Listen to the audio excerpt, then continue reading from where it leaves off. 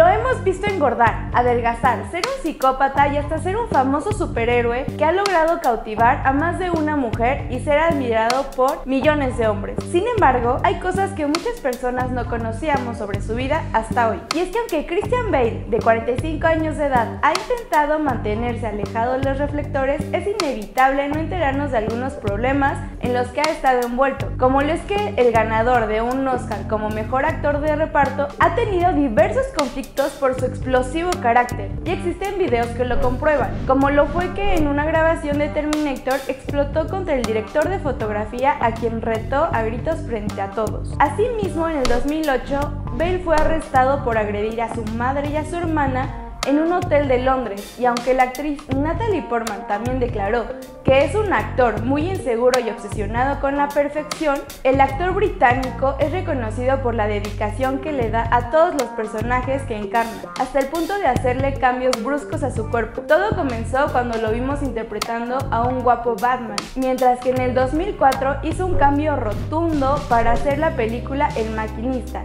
en donde adelgazó casi 30 kilos, llegando a pesar 50 mientras que él mide 1,83m de altura. Esto provocó que el actor tuviera desnutrición y una fuerte decadencia en su salud que puso en peligro su vida. Sin embargo, esta no fue la última vez que tuvo un drástico cambio en su cuerpo, pues también lo hizo para la película El Peleador, en el año 2010, mientras que en la cinta Escándalo Americano tuvo que subir al menos 50 kilos para interpretar a un empresario estafador, así como para el rodaje de El Vicepresidente, en donde también aumentó de peso. Ahora veremos a Christian Bale en la película Contra lo Imposible, que se estrena este 15 de noviembre, la cual no te puedes perder. Yo soy Shanat Núñez y si te gustó mi videocolumna no olvides compartirla en tus redes sociales. Y no olvides seguir a glug.mx.